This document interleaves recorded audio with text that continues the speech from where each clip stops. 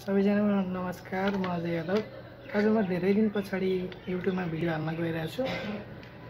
आज हामीसँग एउटा एक साइडको इन्भर्टर आएको छ जे जसमा चाहिँ फल्ट के थियो भने चार्जिङ सेक्सनमा फल्ट आएको छ भनेर इन्ट्री गराउनु भएको छ।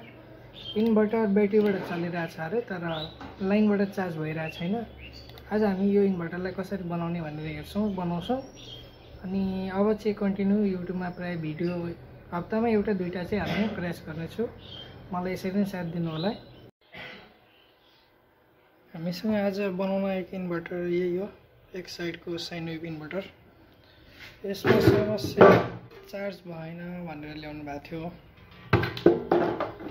पहिले माथि माथि नै हेरेर हेर्नु हेर्दैखेरि के देखिन्छ हेर्दाखेरि केही पड्केको ओरेको जलेको देखियो भने त्यसबाट फल्ट फाइन भइहाल्छ। त्यस्तो देखिएन भने नि हामी पिसिबीतिर जान्छौँ र यसको यहाँ फ्युज होल्डर अलरेडी जलिरहेको रहेछ उहाँले नोटिस गर्नुभएको थिएन के अरे।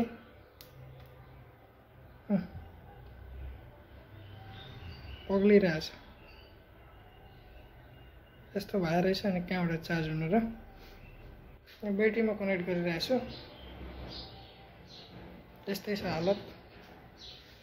अब यसको फ्युज होल्डर एकचोटि अर्को हालेर हेरौँ चार्जमा आउँछ, आउँदैन यहाँ बैटरी ब्याट्रीबाट तो नर्मल्ली मजाले नै काम गरिरहेछ। चार्ज हुँदैन भन्ने नि समस्या थियो यसमा।